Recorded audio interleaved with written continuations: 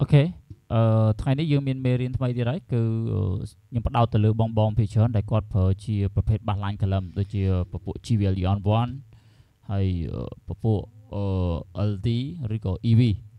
ដែលភាគច្រើនគាត់បើកទៅដាច់កឡោតសាប់នៅខាងក្រោមរបស់គាត់ហើយជាទូទៅទំហំនៃ Opler សាប់ពួក Opler ទាំងអស់ហ្នឹងគឺទំហំរបស់វាគឺ2ទឹក6អញ្ចឹងនៅ iMo របស់យើងនេះគឺយើងមានលក់ Opler សម្រាប់បងបងដែលគាត់បើកឆេះទៅហើយគាត់ ជួសជុលមានថាភាគច្រើនតាមរយៈបទពិសោធន៍របស់ខ្ញុំគឺគាត់យកទៅឲ្យជាងជួសជុលគឺជាងរុំកលាត់ឡើងវិញអញ្ចឹងការប្រើប្រាស់បែបហ្នឹងគឺវាប្រើមិនបានធន់ទេនៅពេលដែលយើងរុំកលាត់ឡើងវិញអញ្ចឹងសម្រាប់បងបងដែលចង់ទិញឧបករណ៍ថ្មីយកទៅដាក់តែម្ដងគឺបងប្អូនអាចរកទិញបាននៅ iMall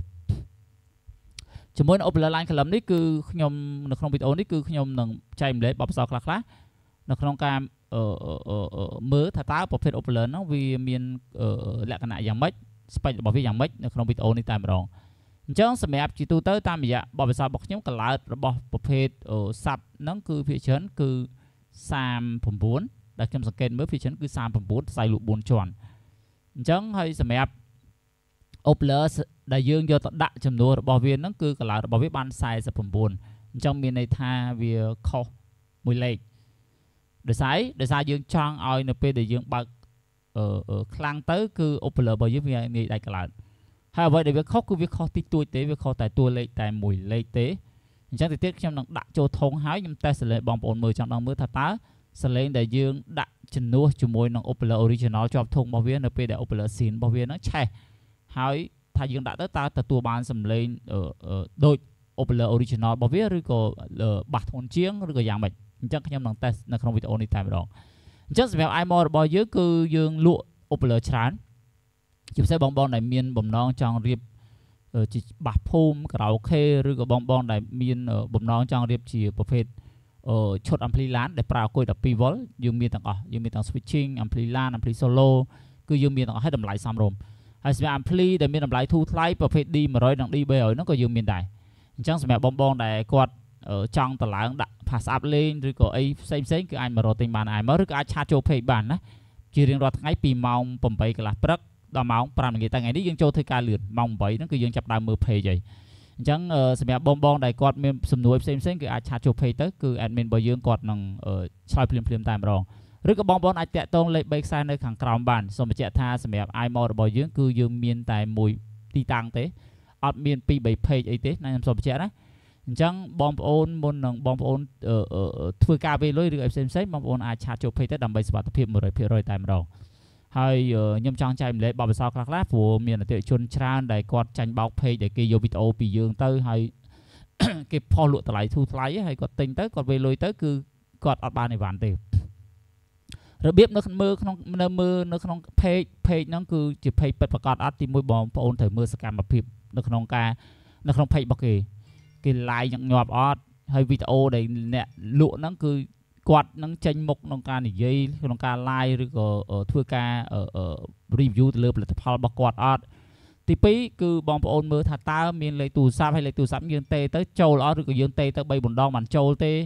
ហើយបើសិនជាយើងសួរទីតាំងតើគេមានទីតាំងច្បាស់លាស់ឲ្យយើងអត់អាហ្នឹងគឺជាកត្តាមួយដែលបងប្អូនចង់ដឹងថា page ហ្នឹងគឺ page ត្រឹមត្រូវឬក៏ page បោកគឺបងប្អូនត្រូវយកកត្តាទាំងអស់ហ្នឹងយកមកធ្វើការវិនិច្ឆ័យហើយបើសិនជាបងប្អូនសួរទីតាំងរបស់គេហើយគេប្រាប់ថាលក់តែអនឡាញទេអញ្ចឹងកុំទិញណាបើសិនជាគេប្រាប់ថាខ្ញុំលក់តែអនឡាញទេខ្ញុំអត់មានទីតាំងអីថោកប៉ុណ្ណាក៏ដោយក៏កុំទិញដែរព្រោះហ្នឹងដឹងតែបោកអីអញ្ចឹងប្រយ័ត្នមែនតើព្រោះមានចោលដែលយក page ពីបានថាយកវីដេអូពី iMall របស់យើងហ្នឹងយកទៅលក់តម្លៃធូរថ្លៃ microphone របស់យើងយើងលក់មួយឈុត85ហ្នឹងគេលក់តែ25ឯងហើយបងបងឃើញថោកទិញទិញហើយវេលុយអីគេហើយគឺអត់បានអីវ៉ាន់ចាញ់បោកគេអញ្ចឹងប្រយ័ត្នមែនតើអញ្ចឹងរបៀបនៅក្នុងការមើល page ថាតើ page ហ្នឹងគឺជា page ត្រឹមត្រូវគេរកស៊ីច្បាស់លាស់អត់ទី1បងប្អូនត្រូវមើលថាតើមានសកម្មភាពជារៀងរាល់ថ្ងៃឯនៅលើ page ហ្នឹងទី2ថាតើលេខទូរស័ព្ទដែលគេដាក់ហ្នឹងយើងខលទៅចូលមានគេលើកអត់ឬក៏យើងខលទៅ3 4ដងមិនមានគេលើក ទី3យើងសួរទីតាំងរបស់គេថាទីតាំងនៅណាសួរ Google Map របស់គេឲ្យគេបាញ់ទីតាំងឲ្យយើងហើយបើគេប្រាប់យើងថាអត់មានទីតាំងទេគេលក់តែអនឡាញទេកុំទិញឲ្យសោះតម្លៃប៉ុណ្ណាក៏ដោយក៏កុំទិញដែរអាហ្នឹងតាមរយៈបទពិសោធន៍របស់ខ្ញុំតែម្ដងពូមានអតិជនជាច្រើនដែលធ្លាប់ចាញ់បោកគេដែលគេយកវីដេអូពីយើងទៅហើយមីក្រូហ្វូនយើងលក់85គេលក់តែ25ទេបងឃើញថោកទិញបឹបដល់ពេលពេលលុយទៅអត់បានអីវ៉ាន់បានឆាតមកសួរយើងអញ្ចឹងខ្ញុំសូមបញ្ជាក់ណាសម្រាប់ iMo របស់យើងយើងមានតែមួយ page ហ្នឹងទេ អត់មានពីរបី page ទេហើយទីតាំងរបស់យើងក៏មានតែមួយទីតាំងដែរអត់មានសាខា2 3ណាទេហើយលេខរបស់យើងគឺ3ខ្សែនៅខាងក្រោមវីដេអូហ្នឹងតែម្ដងអញ្ចឹងខ្ញុំសូមចែកម្លែកចំណេះដឹងនៅកន្លែងហ្នឹងតិចដើម្បីកុំឲ្យបងបងភាគច្រើនគាត់ចាញ់បោកគេព្រោះលុយយើងពិបាករកណាអញ្ចឹងតោះឥឡូវយើងចូលដល់ប្រធានបទរបស់យើងវិញអញ្ចឹងសម្រាប់ Opler នេះគឺជា Opler 216ដែលស័ក្តិសមជាងគេសម្រាប់បងបងដែលគាត់ប្រើជាមួយនឹងពពួក line column ហើយខ្ញុំនឹងបញ្យល់ពី spec មួយមួយបងប្អូន10ហ្មង 12កន្លះអានេះ15មេដៃរបស់វាអានេះបាន12កន្លះហើយ Opler Sin 12កន្លះអានេះ15ហើយកន្លះរបស់វាគឺ49នេះកន្លះរបស់វាគឺ49ហើយអានេះគេយើងយកទៅតម្លើងជាអីផ្សេងក៏បានដែរយើងចង់តម្លើងដាក់វាយធុងធ្វើសាប់ផាសអាប់ឡានក៏បានដែរព្រោះនេះអូបលឺនេះអូបលឺល្អហ្មងវា spec របស់វាវាធំបានន័យថាកន្លៅ49សរសៃលក់4ជាន់នេះខ្ញុំឲ្យមើលសរសៃលក់ហើយកន្លៅស៊ីនខ្ញុំក៏មកមកមួយអូបលឺហ្នឹងតែម្ដង អញ្ចឹងមិនបាច់បារម្ភទៀតទេបើណាបើសិនជាយើងបើកខូចបើកឆេះមានកលោតស៊ីនដូទៀតឃើញទេខ្ញុំក៏មក50កលោតនោះហើយមើលមើលកលោតហើយខ្ញុំដាក់ផ្ទឹមជាមួយនឹងកលោតដែលជាប់ជាមួយនឹងអូបលឺបានជាប់ធំបងប្អូនមកមៀតមើលចេះខ្ញុំបើកដល់លុតឃ្លីបក៏អត់រ៉ែដែរអូបលឺសាប់ខាងក្រោមខ្ញុំតែហើយនេះឥឡូវខ្ញុំបញ្ចូលក្នុងធុងហើយតោះអត់ជួយបើកភ្លើងនេះតិចឯងបើកភ្លើងនេះទៀតអង្កត់ ឥឡូវខ្ញុំដាក់ចូលក្នុងធុងនេះអូបលឺសេរីថ្មីរបស់ខ្ញុំហ្នឹងដូរធុងដាក់អូបលឺថ្មីចូលហ្មងចុច program ឲ្យឆូតឡើងទៅព្រមនៅតែអត់ចាំទៀតអត់អូសឡើងអត់ចាំបើកអានេះអកដានេះ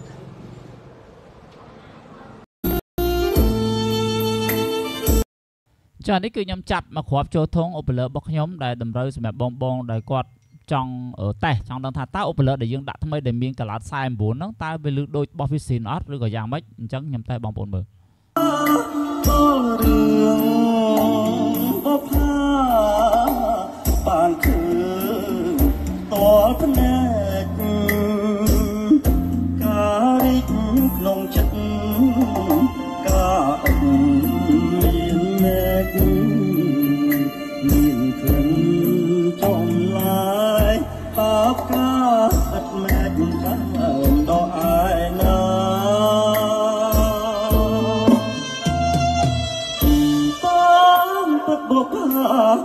ជាឈ្មោះស្រស់ស្រីតបានអឺខ្ញុំនិយាយពីមូលហេតុបន្តិចតែអតិជនភាគច្រើនដែលប្រើពពួក line club ហ្នឹងច្រើនតែជួបបញ្ហាទៅលោកពលិស័កព្រោះខ្ញុំធ្វើច្រើនតែខ្ញុំមិនដែលមានពេលបានថតទេដោយសារថ្ងៃនេះអតិជនគាត់យកធំមកខ្ញុំហើយគាត់3ដងហើយអូបលឺដែលជាប់ធំហ្នឹងធ្វើ3ដងហើយហើយភាគច្រើនជាងរបស់យើងក៏រុំដល់ពេលរុំទៅវាអត់ដូចការយើងដោះដូរកន្លោតស៊ីនទេហើយតាមពិតទៅខ្ញុំកំងកន្លោតហ្នឹងមកតម្រូវអាហ្នឹងប៉ុន្តែខុសតាមម្លេចសោះខុសតាមម្លេចដាក់ចូលបណ្ដោយអញ្ចឹង ជាងគាត់មានតែរុំឡើងវិញកាលណារុំឡើងវិញគឺបើកតែបន្តិចដែលបើកបន្តិចដែលអញ្ចឹងទៅគឺខ្ញុំចេញរូបរាង Opelor នេះឡើងគឺខ្ញុំផ្ដោតទៅលើបងបងដែលគាត់ចង់បានប្រភេទ Opelor ដែលសាប់ធ្ងន់ហើយបើកនៅពេលដែលយើងបើកលុត clip ហើយក៏ Opelor នៅខាងក្រោមអត់ងាយមានបញ្ហាដោយសារដោយសារនេះយើងមើលកាឡាតរបស់វាពីរនេះកាឡាតរបស់វានៅចុះ Opelor ស៊ីននោះគឺ39ប៉ុន្តែខ្ញុំ upgrade មកដល់កាឡាត49ទៅសៃលុក4ជាន់ដូចគ្នាយើងមើលទំហំកាឡាតឃើញទេ ហើយអូបលឺនេះគឺរបស់វានេះគឺមកគេហៅថា125 125 mm អានេះខ្ញុំអាប់ក្រេតមក 150 mm ខ្ញុំលួចតាមបន្តិចបន្តិចទេខ្ញុំអត់លួចធំទេដើម្បីដើម្បីឲ្យផ្ទាំងអាំភ្លីរបស់វា support ជាមួយនឹងហ្នឹងទី2សម្រាប់កឡោតរបស់វានេះគឺ49នេះឃើញទេអញ្ចឹងបានថាវាធន់វាធន់ជាងបាត់ធំជាងនៅក្នុងការប្រើប្រាស់វាបើកទៅទោះបីថាយើងបើកលុត clip ក៏អត់ងាយឆេះអូបលឺរបស់យើងដែរ អញ្ចឹងសម្រាប់ Opel នេះគឺមិនមែនបានថាខ្ញុំបដោតតែលើពពួក Eon 1ហ្នឹងទេបងបងដែលប្រើ LD line column អីផ្សេងផ្សេងដែល Opel 2ទឹក6ពេលដែលយើងចាក់មុខកាត់ទៅគឺ2ទឹក6ដាក់ត្រូវទាំងអស់ហើយមួយទៀតសម្រាប់បងបងដែលចង់យកទៅរៀបអានេះលឺអែមណាព្រោះអានេះលឺអែមមែនតើចេញមក4អូមលឺអែមមែនតើនេះបងបងចង់ទៅរៀបជាមួយ ampli ឡានដាក់ pass up ដាក់ឡានអីហ្នឹងដាក់ទៅត្រូវហ្មងហើយទៅមើលកឡោតវាហើយកឡោតនេះគឺកឡោតដែលខ្ញុំកំងមកជាមួយនឹង Opel ហ្នឹងក្នុងពេលដំណើរគ្នាតែម្ដងមានន័យថា មិនបារម្ភថាបើកឆេះទៅអត់មានកឡាតស៊ីនដូទេនេះកឡាតស៊ីនមកវាបានថាអូបលឺនឹងមកហ្នឹងមកកឡាតមកមួយគ្នាហ្មងឃើញទេអញ្ចឹងខ្ញុំគិតឲ្យហើយហ្មងចង់ទៅថាយើងបើកអត់ងាយឆេះមែនតែបើបើកឆេះក៏មានកឡាតស៊ីនក្នុងការដូរដែរអត់បារម្ភថាឲ្យគេរុំឡើងវិញទេឧទាហរណ៍ដូចជាអានេះអញ្ចឹងហើយជាងដែលគាត់ធ្វើហ្នឹងគឺ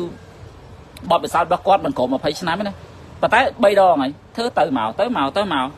អញ្ចឹងខ្ញុំចង់ចែកម្លែកបបិសោថាសម្រាប់កឡោតដែលរុំឡើងវិញវាអត់ដូចជាការដូរកឡោតស៊ីននេះទី1 ទី2កឡោតទូចក៏វាសំឡេងសាប់ឬក៏ភាពធន់របស់វាក៏អត់ខ្លាំងដូចជាប្រភេទកឡោតដែលមាន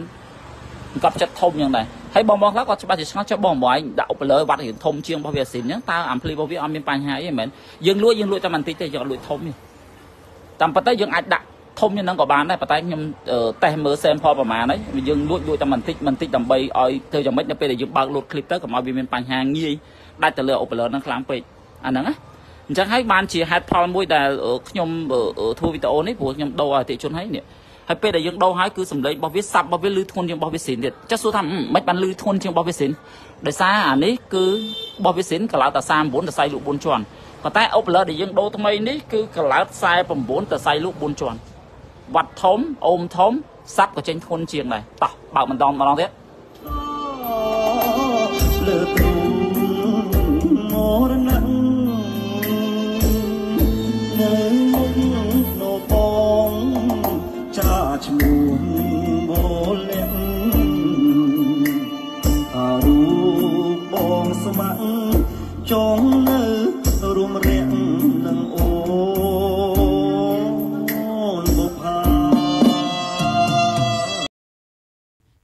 របស់វាគឺ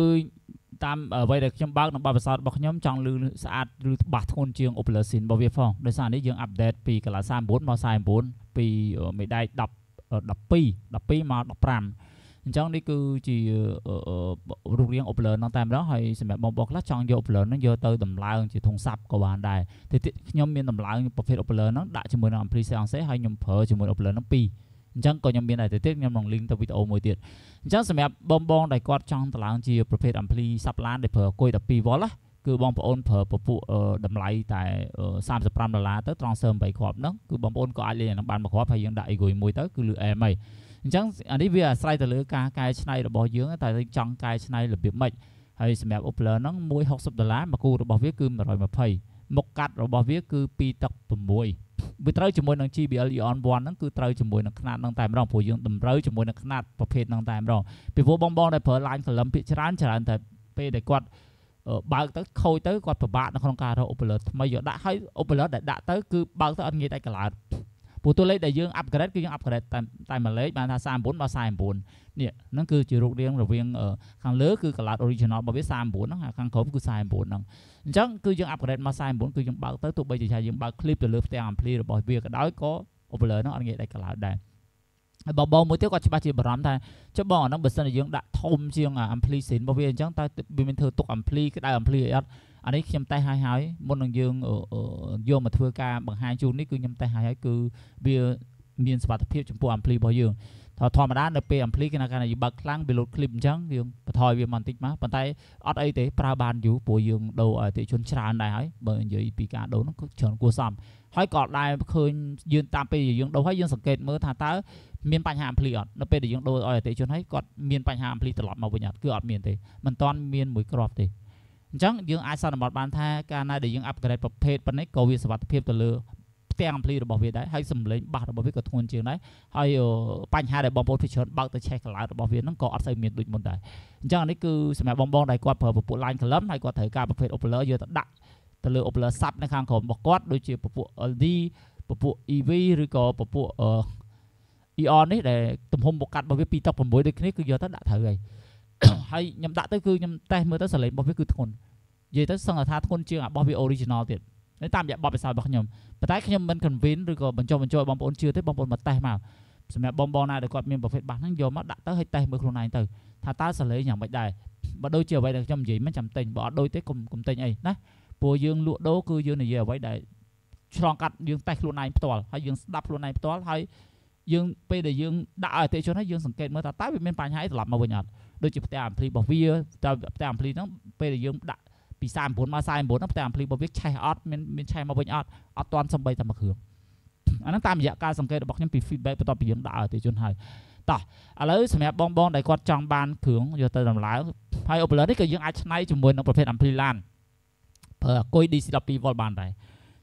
អានេះគឺជា Opler SAP ខ្ញុំសូមបញ្ជាក់ណាមិនមែនជា Opler Solo អញ្ចឹងបើសិនជាយើងប្រើ Opler SAP នេះយើងប្រើពពួក ampli តម្លៃ35ទៅមាន transfer សលេង36អឺ8គ្រាប់សំទោស8គ្រាប់1200វ៉ាត់4អូមរបស់យើងហ្នឹងទៅយើងប្រើ Eroy មួយទៀតទៅគឺយើងតម្លើងជាធុងទៅគឺ AM ឯង